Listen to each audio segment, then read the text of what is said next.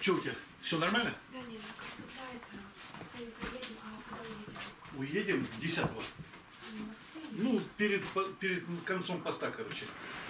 В воскресенье это будет 10 А, ну, значит, да, в воскресенье. Ну, или в понедельник следующий. Ну, короче, неделю будем полностью. Это точно. А если что, ты можешь там с кем-то уехать. Там много будет э, машин. Он Сергей Павлович будет. Че, Инафов потеряешь поедет? А со мной Тараси и Маха едут. Может быть, Людмила Степановна. Людмила Степановна, вы что, рассматриваете вопрос как? Поедете со мной? С нами? А ты когда едешь? Я еду во вторник. А что делать там? Ловить надо. Ага, ясно. Ясно.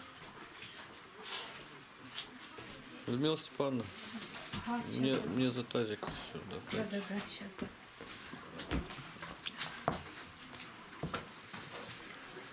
Василий хочет, надо потерять, да? Не хочешь? А что? Лечиться села.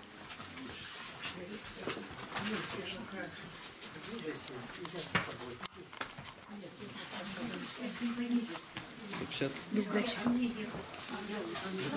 Ну ладно, беспокойся.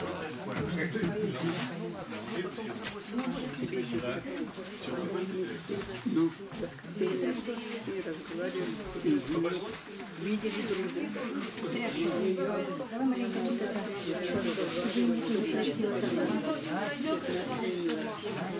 Говорится, что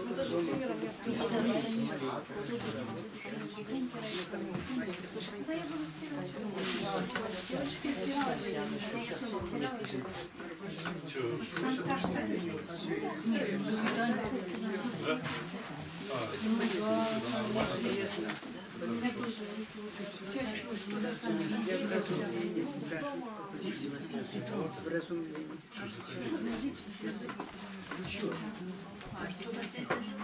Мы с тобой вместе поедем.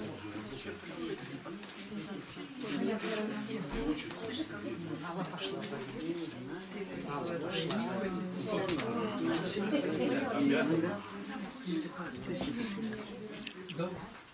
Как жизнь молодая?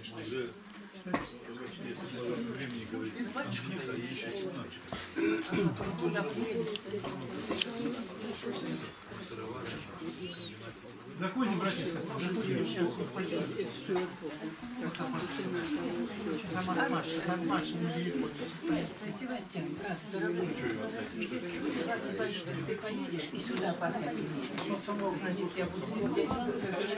Царю небесный, утешителю души истины, и же везде и вся исполняй благих и жизни подателю, приди вселися в и очистены от всякие скверны, и спаси блаже души наша.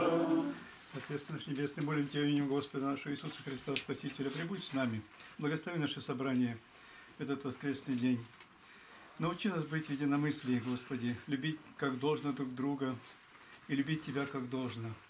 И исполнить все, что Ты запове- заповедал, дабы обрести вечную жизнь, дарованную Тобой на кресте.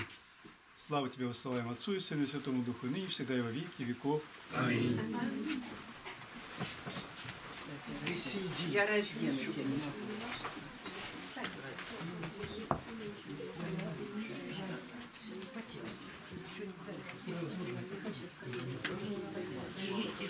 Батюшка сейчас уедет.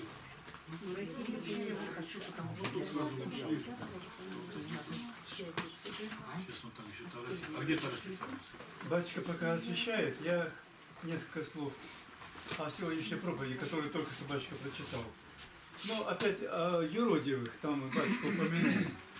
Юродивые, да, вот он делал так, что оставлял какой-то изъян, дабы получить побои и потом награду за это. Мы знаем, что всякое дело нужно делать как для Бога. Вот ты как сделал его, как для Бога.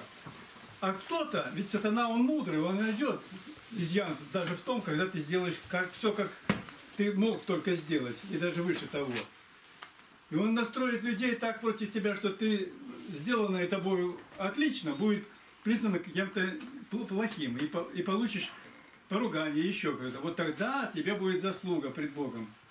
Потому что ты сделал все как можно. А не так, как он, во-первых, он смутил человека, он соблазнил его. И за это еще должен получить какую-то награду, он ждет награду какую-то, что его побили. Разозлила дело. Это же просто, ну, это совершенно не евангельское. Огорчил сильно. Да, что брат. Я тоже удивилась. Кого побили? Я думаю, что... Ну, то есть надо вот все, что который шубу плохо сшил, его святых, побили, а он мы думает, что награда на небесах будет. В житиях святых мы видим такие казусы, которые совершенно не состыкуют- не состыкуются со Словом Божьим. У них не было Евангелия. Вот. Так вот такая у меня мысль возникла, я хотел ее, ею поделиться. А, об, о болящих Татьяна Кузьмична уже убежала, ну, Перед тобой. а здесь она. Ну, А, все остаются. Остаются все в силе, вроде, ну, те же все у нас. Таких нету, что вот сейчас прям вот только заболел и как бы... Новых нет, новых. да, да. Новые, Еще среди новых я могу помянуть Володю э, Олейникова. Вчера было, сегодня я ему позвонил, чего это тебя не видно, на Ага. службе-то. Уже время, скоро, скоро служба начнется, ты меня заболел. Ну, там А я температура хотела, еще- начинается. хотела всем вам передать, вчера звонила Раиса Малютина. Всем поклон низкий передает. Все. Нормально вроде у них там все. Они там не общаются между собой? Ну, звонят, только еще не была Савченко, она у них, потому что они Малютина. переезжали. Витя с Иоанной переехали там на новую квартиру им дали. Ну, расширились более. Ну, все вроде бы так. Еще можно? Да. Так, от мамы тоже поклон из Красноярска. Просим Помоги, помолиться. У нее продолжается там все это боли. Ну, была в больнице, там посмотрели, сказали, надо продолжать химические таблетки пить, невзирая ни на что. Ну, и там обезболивать себя и так далее. То есть вот у нее э, точнее определилось там, это опухоль в мышце. Э, тазобедренная мышца, низ самый, ближе к, к паху. Вот там. И в самой мышце возникла вот эта опухоль. И вот, э, и вот это вот такие вот боли у нее. Поэтому и тянет у нее все, и спину тянет, и вот эту вот нижнюю ногу, короче говоря, вот, непонятно. Вот такие бывают всякие болячки. Бога всего много. Помоги, Господи. Ну, храм Божий ходит, поскольку, во сколько возможно, там, ну, там, где, говорит, присяду, где постою, ну, О рабе Божьей Надежде, моей жене, прошу помолиться. У нее были две операции уже, знаете, да? На, на стопах от передние отделы стоп. Э, Но, кроме того, еще в коленном суставе, там та- подщебецовая кость и бедренная кость, там очаги некроза. В общем, там такая ситуация. Речь идет о, о возможной замене сустава, но пока пытаемся обойтись консервативными методами лечения. ЛФК, лечебная физкультура. Кстати, всем, у кого есть больные суставы, э, есть такой сайт э, 3w. точка, э, Евдокименко. Да, точка ру. Вот. э, Очень толковый. Он ревматолог, но занимается вот именно патологией суставов. Кроме того, что, ну как бы вот орто- ортопедическая такая помощь. Он дает конкретно для конкретного сустава конкретные э, упражнения и показывает это, как делать нужно, и рассказывает, что можно делать, при- какое, какое лечение можно применять. Вот. Эффективно, и он- у него консультация, он живет в Москве, консультации дорогие, конечно, но это бесплатно, можно взять это из, интер- из интернета. Так что возьмите это на вооружение. Жена у меня сейчас занимается эти- этим методом лечения. Можно вопрос? ЛФК и По суставам скажите, Виктор Андреевич, а если меняешь сустав, любой там, коленный, тазобедренный, у него есть какой-то срок годности, после чего его нужно снова менять? потом закончим. Надо продолжить потом. Я иду болящих посещать, поэтому ко мне какие вопросы есть? Вопросы какие когда приедете? Через воскресенье. Это воскресенье наступающее, у нас будет крещение там, потеряющее. Потом это будет что у нас будет? Седьмого? Да. Значит, 13 14 После Петра и Павла. После Да. Петра и Павла, да? Да, после Петра и Если Павла. Вы назад вернетесь? А, Назад вернетесь? не понял. Сейчас назад вернетесь? Да, вернусь. Если угодно будет Господу и все благополучно, то вернусь. Ну вот, Слышали, Не забудьте что, к Василию что сегодня говорят, ибо не знаете, в который час, Да. не знаете, в который час приедет Сын Человеческий. Да. Так, слышали это сегодня? Да. Так вот всегда должны быть готовы. Конечно. Какой час? А то мы земля, а я вот еще сделаю то-то, то-то. А говорит, как Бог даст. Конечно. Сделаешь или не сделаешь что-то. И Потому что не знаем, в который час придет Сын Человека. А для нас приход Сына Человеческого это Смерть пришла, все. Книга закрылась, только откроется уже на суде. Что успели записать, то там будет. Вот так. Ко мне какие вопросы еще? Быстро. Никаких. Все, с миром благословляйте. с Богом. По суставам. Значит, ну, суставы болят по разным причинам. Есть суставы болят по наследственным признакам, то есть по наследственным, пере- передается по наследству.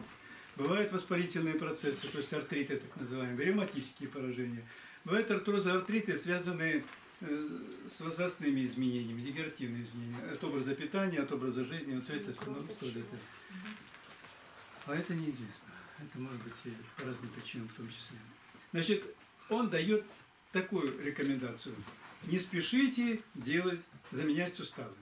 Как минимум попробуйте вы вот это ЛФК, вот эту лечебную физкультуру и консервативное лечение хотя бы полгода. Если нет, да, ну, конечно, там, если третья, четвертая стадия, там уже вот все, уже там стерлись все э, хрящи суставные, когда уже кость в кость там вырастает почти, обездвижен сустав, там четвертая стадия уже ничего не сделаешь. Но первая, вторая стадия, это вполне можно еще вернуть, улучшить состояние сустава, однозначно. Поэтому вот, э, возьмите это на вооружение, потому что это, я считаю, что это эффективно. Что касается, э, какой срок годности этого сустава, ну, это зависит от качества, конечно, сустава, от качества оперативного вмешательства и от качества самой ткани костной, которые вот, в которую уже ввели этот сустав, коленный сустав. Э, часть этого сустава э, в бедренную кость и в малоберцовую, кость, то есть большеберцовую кость. Какая там структура ткани? Если ее, она рыхлая, может так сказать, повториться, разрушиться там. А Ну, сам, сам, сам, сам сустав, он, конечно, служит долго. Искусственный сустав. Добро. Итак, идут апостолы. Их 12 апостолов. Господь набрал столько. Ну и написано, все просто так написано. В Евангелии же все просто пишется. И я хочу сказать, что слава Богу, что так пишется. Сейчас многие говорят, вот там Игнат Тихонович снимает то-то, то-то. Он там интересно снимает всякое. И действительно, там то крота, как он там поймал, то там, как они там сваи заколачивают, то как шкурят их эти сваи. И так, правда, посмотришь и подумаешь, а зачем это все? Ну, сваи-то шкурить, ну ясно, это любой может сваи шкурить, верующий, неверующий. Но дело все в том, что это такая память остается, и человек, если он будет э, постоянно до конца смотреть вот эти ролики все, он поймет, что что-то здесь не так. Вот я точно так уверовал в Слово Божье. Я читал Библию неоднократно. Мне сразу она понравилась, книга, очень сильно. Я ее первый раз я читал ее очень долго. Почему? Я все книги, которые мне нравятся, всегда читаю с размышлением. Прочитаю немного, потом отложу, начинаю представлять воображение. Вот интересно мне. Допустим, я так Робинзона Круза читал. И Библия. Я сразу понял, что в Библии необыкновенно. На первом стихе остановился уже. Я прочитал и, и я поразился. Думаю, у меня такие знания астрономии, там, э, истории, географии. И тут такие простые слова, они просто поражают.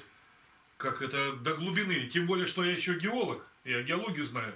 И вот это тьма над бездной, хаос этот, то, что мы проходили на занятиях в, институте.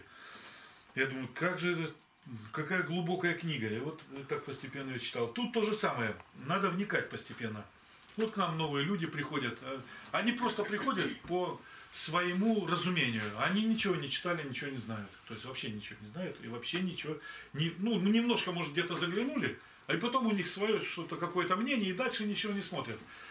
А многие люди, которые приезжают к нам креститься, они говорят, мы прям живем в вашем сайте, понимаете? А ведь мы во всем этом находимся, во всем этом. Понимаете, для, почему это важно, вот эти вот мелочи. И вот теперь идут апостолы. И подходит, ну, а как Господь их э, привел? Как к себе? Написано, вот сейчас вот читаем. Проходит мимо, и они подчиняют сети, и он говорит, пойдемте со мной. И они бросают сети, и проповеди такие. Вот, он только подошел, они все бросили и пошли за ним. Да, давайте изучать историю евангельскую. Как они это все бросили. Во-первых, кто они? Они знакомые были Петра? Знакомые Петра? Ну, конечно, он же рыбак был. И они тоже были. Яков и Иоанн, то же самое. Они были рыбаки. Они были знакомые, они были друзья. Вот в чем дело. А мы знаем, как Петр пришел к Господу. Как пришел Петр к Господу? Господь идет, вот идет, а Иоанн Креститель говорит проповедь. И, и он просто идет, и тут куча народу стоит. И он показывает, говорит, вот Агнец Божий, который берет на себя грехи мира. Представляете? Ну, представьте, сейчас будет кто-то проходил мимо тут, и вдруг бы кто-то указал, ну, Виктор Андреевич сказал, поглядите, это наш Спаситель. Все, это что? Ну, какие у вас были бы мысли первые, что вы ждете Мессию? Ну, что-то с головой не дружит, наверное, человек. Как тут Спаситель вдруг появился? И поэтому он говорит не Спаситель, а Агнец Божий. Люди там, кто как о чем подумал, непонятно. Ну, двое задумались и пошли за ним. Один из них Иоанн, а другой кто первозваный? Андрей. Андрей. И написано, как они пошли. Подошли к нему. Он, а вы что? А мы за тобой идем. Нам указал Иоанн Креститель. Мы верим, что он пророк. Он что, просто так будет руками махать? А там еще были тысячи народу. Никто не пошел. Они двое пошли. Начинаем задумываться. Так это он подошел и сказал, идите за мной. Так для этого он же Иоанн сам к нему ушел. Но не было того разговора еще. Иди за мной. А у нас много тут разговоров происходит, но никто не идет за Христом. Почему? За вами же надо идти. Вы что, выше меня? Я гордый. Ты кто такой? Я уже 6 лет хожу в храм, а ты тут это, мне сидишь. Тебя кто надо мной поставил? Верующие, а неверующие тут рассказывают. Все понятно. Иди дальше в этот храм. Это таки, такое научение. А Господь так научил их, что они другим рассказывали, и люди э, верили сразу. Почему? Нафана... Как Нафанаила призвали? Вспомните? Да. Как? Пришел к нему и рассказывает ему, вот так и так появился он. Да может ли что из Вифлеема быть доброго? А ты сходи, посмотри сам. Ну, такой настойчивый. Да ладно, я пойду, я знаю священное писание, сейчас как приду, и Господь говорит, ты еще под смоковницей был? Я уже знаю о тебе все. И он, а, Господи, ты Господь, пророк. Ну, то есть самое высшее существо, какое только есть на земле. Сразу все, упал на колени. Все тут. Почему? Он знает Священное Писание. Они знают Священное Писание, они боятся Бога. Они хотят спасения Израилю и себе, естественно, своей душе и своим близким. Вот какое было призвание это. А не так, что ну идемте, и все, ой, как, вот так и нужно, все бросить, и вперед за Христом. Ты Евангелие сначала узнай, а потом вперед за Христом. А то ничего не знают, уже начинается. И тут же, и такая, вокруг такая атмосфера, разговариваешь с ними, как будто небо дрожит. Вот так. Я разговариваю, я чувствую, и мне не надо вообще этого разговора. Зачем? Зачем? И вроде человек, я не лицемерю, так, ну нормально с тобой разговариваю. А я чувствую прям накаленное, не накаленное, а вот так вот прям дрожь идет аж. Я думаю, зачем мне это все надо? Ну зачем тебе, Игорь, это надо? Чего ты лезешь сюда? Ну как, я думаю, что человек верующий, ему надо уверовать во Христа. А человек полностью не хочет идти ко Христу. Не хочет. Ему не надо ничего этого. И приходится какая-то ругань начинается с батюшкой тут со всеми. Знаете, это все-таки нужно бодрствовать над собой и Слово Божие знать. Знать и вникать в него. Вот Златоуст же вникает в него. Почему мы не должны вникать? Однозначно. Слава Христу. Аллилуйя. Благодарю Господа. Слава Благодарю Христу. брат. напоминание о том, что нужно бодрствовать. Батюшка нам тоже постоянно говорит об этом. Бодрствовать нужно. Нудить себя, заставлять нужно. А, да, еще я хотел сказать. Значит, я еду в Потеряевку во вторник утром выезжаем мы. Значит, звал с собой Нестора сразу. Думал, Нестор поедет. Ну, Тарасия сначала, потом Нестора. Тарасий едет со мной. И Енафа едет. Владимировна. Я не вижу, Енафа-то где? Мистер, что не едешь? На улицу вышел. Ну, Енафа. Еще, говорят, Фрося может, да, поедет? На время же, на три дня. Еще, может, Фрося поедет. А ты что Он огородом, едешь? огородом занимается. Может, Фрося позанимается, а ты поедешь? Не, ну мне лично все равно, пускай Фрося едет еще. Ну, то есть место есть там у меня, так что я возьму. А ты с какой целью? Я с целью на крещение, во-первых, ну и вообще побить с какой целью? С целью молитвенной поддержки Иерусалима и всего мира. Вот такая цель. Так что. Так, там у нас будет, значит, крещение. На крещении будут э, креститься. Вот у нас Алена хочет из тех, кого мы хорошо знаем. Вот Алена. Она, наверное, крестит ее на переимя, имя у тебя другое уже будет. Елена? Всё-таки, да, Ну, Елена. Я- Ну и еще двое, вот семья у нас тут была, это Андрей и Валерия. Вот сейчас я про них как раз рассказывал, ну, про Андрея. Не получилось никакого разговора, в общем. Люди погружены в московскую патриархию. Ни община, ничего не нужна. Поэтому, ну, вот так вот молитесь за людей, чтобы Господь вразумил, дал понятие искренней вере во Христа.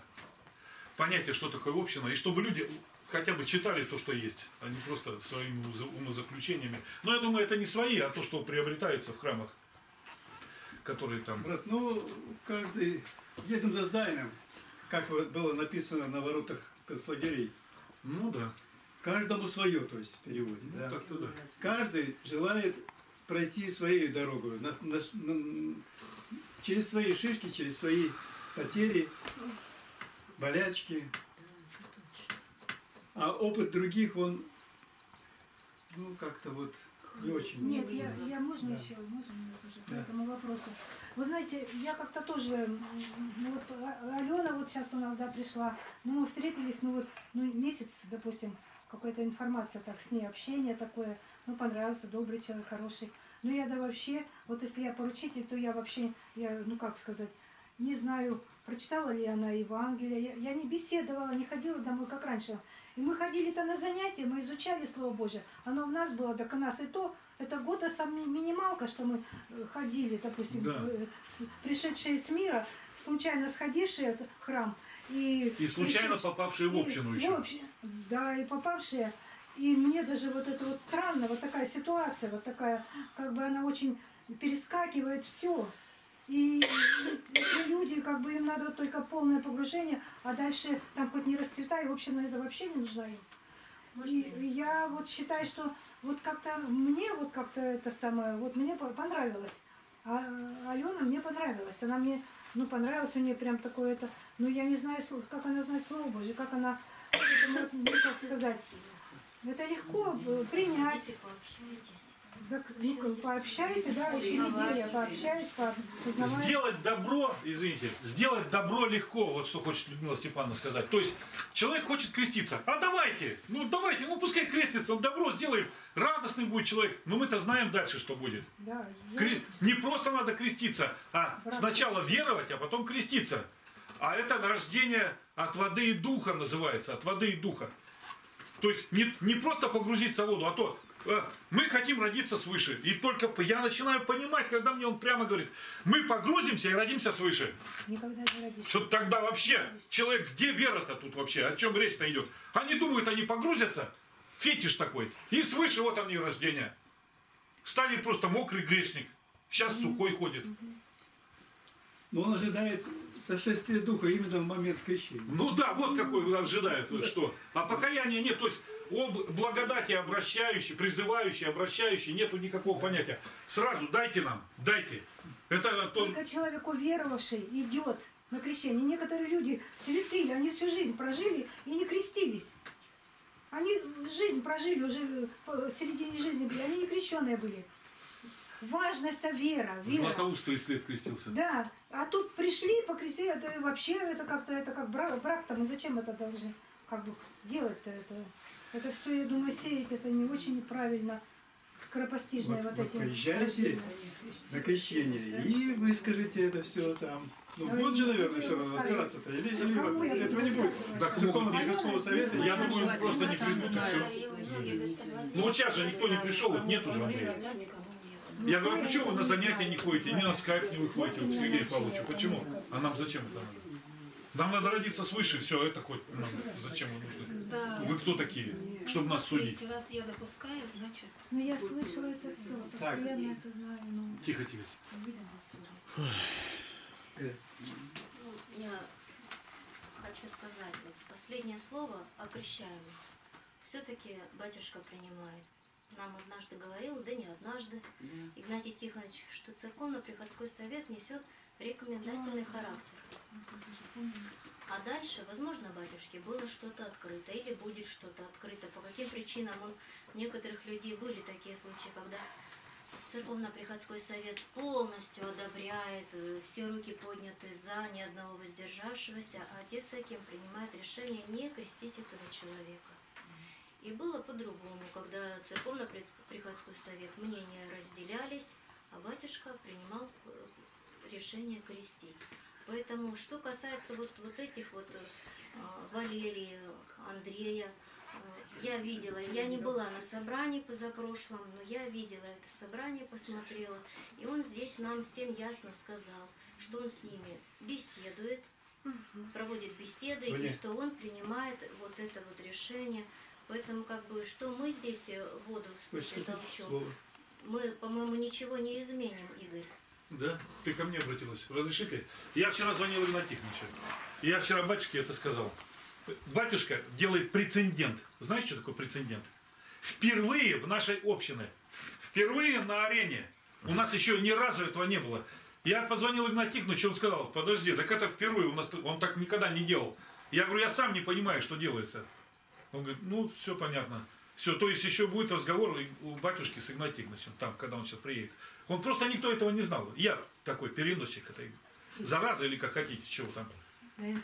И я ему вчера сказал, батюшка, такого не было никогда, что люди, которые прямо здесь находятся, вот в Барнауле, бери их и едь к ним, смотри, поручители и так далее, чтобы они, а мы не хотим. Как вы не хотите? Ну не хочешь, идите вон, вы ходите же туда и ходите туда. А вот мы хотим только креститься, а вот сюда не хотим, а к батюшке ходим. Поезжайте, И батюшка их принимает, там лелеет и так далее. Э, И такой, я что захочу, то сделаю. Я говорю, батюшка, вы делаете, когда там из Ульяновска приезжает кто-то, из Москвы, из Вашингтона. Вы делаете, потому что, понятно, люди хорошо известны по скайпу Игнат Тихоновичу, они там общаются. И они на занятия выходят. Почти все всегда выходят на занятия. Мы их знаем нормально. Вот Валентина Сартисон, она сколько по занятиям и приезжала, и племянниц привезла, покрестили их. Ну, толку никакого нет от племянниц. Но мы знаем, что она там, и она будет им капать Словом Божьим на их э, жизнь. И что там, может быть, будет. Только поэтому крестили их. А эти люди, они здесь прям. Бери и работай с ними. Я так и пошел этим путем. Я что нового-то сделал, я не могу понять никак. Я сказал Игнатию Тихоновичу, меня что, будет сейчас собр... э, община меня судить за то, что я иду, как написано в ваших книгах, что ли? Я что-то понять никак не могу. Не было бы сейчас Игнатия Тихоновича, точно бы этот суд состоялся. Игорь, да никто Да вон написано все. Бери просто там заявление о крещении и там дальше в общину вступление и так далее. Нету другого заявления. Все правильно, брат, все правильно. И там дальше два поручителя. Что я нового говорю, я ничего не понимаю. И вдруг батюшка вот так как-то все вот так выворачивает. И... Я говорю, батюшка, я не понимаю, вы за кого? За меня или за медведя? Давай, давай не будем повторяться, все, все понятно, и будем молиться, чтобы Господь все... Подожди, тебе вообще не надо ничего говорить, только слушай, понимаешь? Ты на ступени социального развития, молчать и слушать. Не надо ничего говорить, батюшка, батюшка, адвокатша. Игорь, мы тебя нисколько не судим, я думаю, никто не судит. Я думаю, что, как бы, я думаю, сказал, нам всем нужно быть единомысленными, единодушными и сказать, люди идут в падение конкретно. Они не хотят знать, что такое община. Он не хочет дисциплину. Он сказал, мне не подходит ваша церковная дисциплина. Смысл нахождения здесь. Он только на батюшку смотрит. Сейчас вот все вышли, он стоит один вот так вот. И батюшка в алтаре, и он стоит вот так вот, смотрит. Все уже выходят, он стоит вот так вот туда, смотрит. Он все, у него, у него только одно, батюшка, батюшка, батюшка, все. Фетиш этот. Что скажет батюшка? Она, нам Сергей показывает со мной, говорит, так вы сектанты, вы пытаетесь переломить меня. Я ему говорю, я, говорю, мы говорим тебе, что написано у нас, в книге прям написано. Он взял такой, ну у меня эта книга есть. Я говорю, так ты что не читаешь-то? Дали ему к истинному православию. И он не читает эту книгу. Ему не нужна она совершенно. Потому что он там ничего не вычитает. А Слово Божие, ну да, вы меня, конечно, сейчас можете там заткнуть и так далее, потому что вы лучше меня Слово Божие знаете. Брат правильно замечает. Но если мы лучше тебя знаем Слово, тогда молчи и слушай. И исполняй, и все. А он тут же говорит, вы знаете, а потом, но вы как сектанты действуете, вы хотите меня задавить своим авторитетом. Так ты же к нам сюда пришел. А я пришел не к тебе, а к батюшке. Хоп, закрылся. Вот это. Змея укусила себя за хвост. Называется замкнутый круг. Понятно? Брат, спаси Христос. Я впервые в такое попадаю положение. Брат, спаси Христос. Игнат да. Тихонович меня, в общем, пожалел. Ты же поедешь в Потеряевку, я думаю, твой голос будет иметь вес. Ну, конечно, поеду. как бы. Если они там будут, но я думаю, он не придет туда просто. Не Как бы он не, не пойдет туда. Ему не- Тут однозначно смирения нету. Он не пойдет. А если он пойдет, он кипит с полуоборота. Парень. Спаси Христос, брат, за, за твое неравнодушие Да. к душам этих людей, которые пытаются при- принять Я это крещение. с Игорем. Слава Да, кто не согласен, это среди нас. Я, Я тоже думаю, полагаю, что все согласны. И, Только батюшка вот сверху стоит и все, вопросе. больше ничего. Братья и сестры, просто у нас есть время помолиться, чтобы Господь эту ситуацию сделал такой, какая она должна быть, как, о- как общему благу. Батюшки в первую очередь. Да. В первую очередь батюшки и во вторую очередь этим крещаемым. И помните еще, когда апостол, апостол Петр во сне папе Льву явился, еще это 10 век, еще они были католики, были еще, не, не было католиков, все православные тогда были в Риме. И он ему явился и говорит, доколе вы сюда к, к этому, к воротам Царствия Божия, Божия будете присылать эти э, засушенные бурдюки. Помните? И он говорит, а, че, пустые, да, пустые бурдюки. То есть, как бы, тол- это, отпеваете людей, там, как в Царство Небесное, они подлетают, как бы, ну, то образно говорю. А апостол Петр, врат, вратарь Царства Небесного, он стоит и не пускает их. Смотрит, ну да, человек, вроде как оболочка есть, а содержания-то нету никакого. И зачем это? И он говорит, ты ответишь за всех них. Он сказал, это, апостол Петр. За все ты будешь нести, ответственность. За всех епископов, которых ты рукоположил, неправильно. За всех священников, которых руко- рукоположил, не исследовав, кто, какая у них вера. Уж тем более священник будет нести за своих посомых. Тем более они не собираются быть его. Я спрашиваю, отец ваш духовный будет, вот отец Иаким, вы как к нему будете ездить-то? Там туда будете ходить, а к нему будете в Потеряевку или сюда приходить, причащаться? У меня мозг разрывается вообще. Это что такое? Это впервые такое. Что, было такое хоть раз? Не было. Да не будут они ездить. Да о чем речь-то идет? Они не будут верующими, во-первых. Так, ну, одним словом, батюшка наш дорогой всем близок и дорог безмерно, поэтому будем молиться. Призываю, призываю на молитву всех. И всех, кто отсутствует, тоже нужно передать нашу общую требу, нашу общую требу. Дело все в том, что я вот Что такой касается, брат, сегодня упомянул о том, что вот э, Игнат Тихонович там показывает ролики, там вот шкурят они бревна и все прочее. Зачем, да? Зачем? А если поразмыслить, то есть зачем. Потому что все, что делается вот здесь, это тоже литургия. Что такое литургия? Это общее дело, которое нас сплочает, сплачивает. И сплачивает нас вокруг Христа, вокруг Евангелия.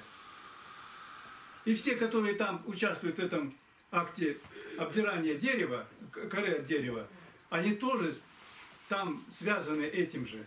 Вокруг Христа и вокруг Евангелия. И это продолжение. Здесь мы это делали тоже. Сколько дел мы сделали здесь? Для храма и вокруг храма. Лагерь тоже. Лагерь. Все Хоть это... лагерь там, а тут сколько дел Это делалось. вот как раз и есть литургия, еще, может быть, больше, больше, имеющая большее значение, чем то, что происходит там. Но я не исключаю, естественно, причастие,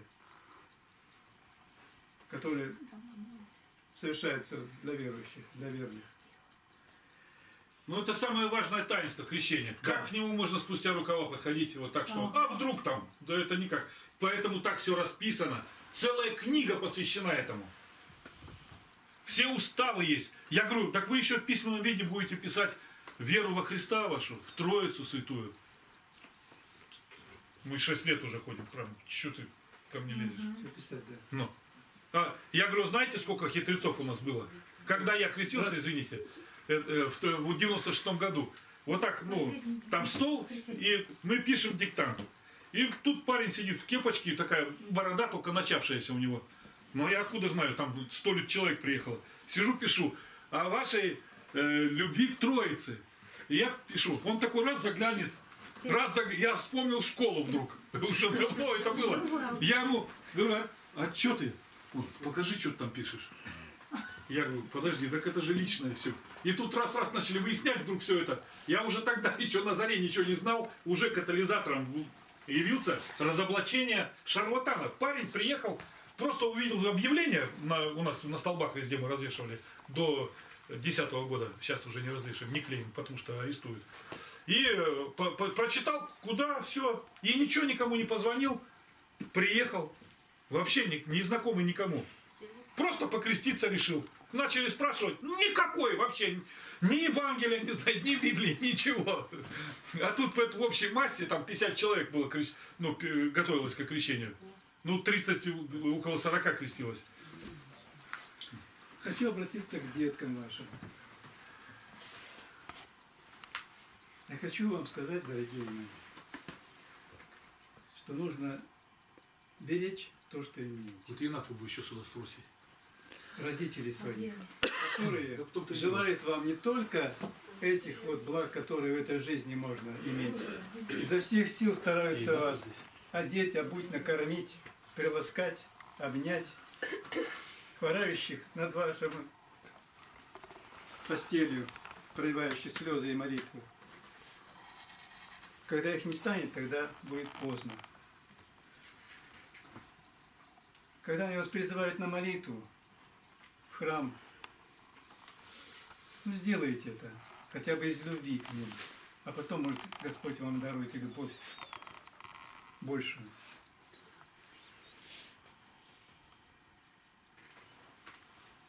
Я потерял свою мать, когда уже мне было достаточно, в достаточном возрасте. И когда я прихожу на, моли- на могилу к ней, то плачу. Плачу, потому что обижал ее. Обижал. А уже теперь поздно. Берегите то, что имеете. Сейчас. Помолитесь о моем сыне, о дочери, о внучке. Виктор Андреевич, Да. можно еще к детям тоже? Я хотел сказать, вот э, у нас, когда было образование наше, то нас готовили э, без дураков, как называется. Ну, русское такое выражение. Ну, поняли, да, что такое без дураков? То есть, знаешь или не знаешь, и все. И нам действительно там ставили двойки. И у нас были двоечники, но я сейчас смотрю со стороны уже высоты своего проживших, прожитых годов и думаю, а двоечники у нас не такие дураки были. Во-первых, все двоечники были очень физически развиты у нас. Хорошо пели, допустим. В таких вопросах там рисование было и так далее. Математика в основном, русский язык, ну как, не сказать, что он э, писал хуже, чем сейчас пишут там вот э, в постах там или где я смотрю там в отзывах, ну вообще безграмотные напрочь. Они лучше их писали, это точно. И вот это и не было у нас тестового вот такого образования. Допустим, э, кто победил там, какой командующий был, когда победили французов. И там начинают. Там Барклай де Толли, потом там Жуков, там еще какой галиматья какая-то вот идет и все. И детям забивают просто мозги этой гадостью всей. И я хотел сказать вам, что, э, дорогие наши вот дети, сейчас ваше образование, вот для меня совершенно никчемное, я считаю, вот этими тестами. Вы должны точно знать, о чем идет речь. Это, это вас сильно расхолаживает, выхолащивает истинные знания, нужные, причем знания, чтобы они были связаны еще с сердцем. Видите, у нас патриотами воспитывали в свое время. У нас любое знание, география, там история, даже математика, все было связано э, с любовью к своей социалистической родине. У нас сейчас этого, у вас сейчас этого нету. Вот совершенно. А мы здесь говорим о любви ко Христу. Вы не можете сказать, когда вам скажут, как ты любишь Святую Троицу, или что сделал для тебя Господь Иисус Христос. А. э, то, что ты стал много есть конфет. Б. Держи карман шире, понимаешь? Ты должен точно сказать, почему Христос для тебя любимый. А не эти А, Б там вспоминать. Поэтому учите без дураков, вот без этих АБ. Знаешь и все. В каком году была война? В таком-то году была война. Почему Христос? Потому что пролил за меня свою пречистую кровь. За меня. Я грешник поганый. Я должен быть мертвым. Потому что я преступник на кресте. И он за меня взошел. Почему? Потому что он тебя любит. Вот как нужно знать Христа. И тогда на могиле матери, матери будете плакать, или вспоминая о ней, будете плакать, как вот Виктор Андреевич сейчас свои уже года, сколько лет уж мать умерла, и вспоминает, чего ему не хватает. Спаси Христос, брат. Слава Христу. Ну, в продолжение сегодняшнего дня, как обычно, песнопение, трапеза и духовная трапеза, занятие. Спасибо. Достойное всякого истину, Вложите тебя, Богородицу, Пресноблаженную и пренепорочную, И Матерь Бога нашего, Честнейшую Херувим, И славнейшую без сравнения Серафим, Без истления Бога Слова родшую, Сущую Богородицу Тебя величаем. Господи, защити Родину нашу от нашествия на племенников, от внутренних расприй, от беззакония, которое в тайне, останови делающих зло. Просвети правителей страны нашей, чтобы принимали мудрые законы и всех начальствующих, также просвети и защити. Людей, не познавших Тебя, обрати к истине, чтобы божественная любовь Твоя коснулась каждого сердца. Священники, которые не служат Тебе как должно, пусть покаются в небрежении своем и проповедуют смело и на славном об Иисусе Христе. Господи, праведны суды Твои над Россией за то, что оставили Тебя и Слово Твое, изреченное Святой Библии. Прости нас, Господи, Владыка жизни, что сокрыли имя Твое, Бога Иегова. Дух Святой да наставит нас не признавать никаких иных богов вопия. Алла, Отче, Господи, научи нас семикратно в день прос- прославлять Тебя за суды правды Твоей. Тебе хвала, слава, честь и поклонение, Пресвятая Троица, Отец, Сын и Святой Дух. Аминь.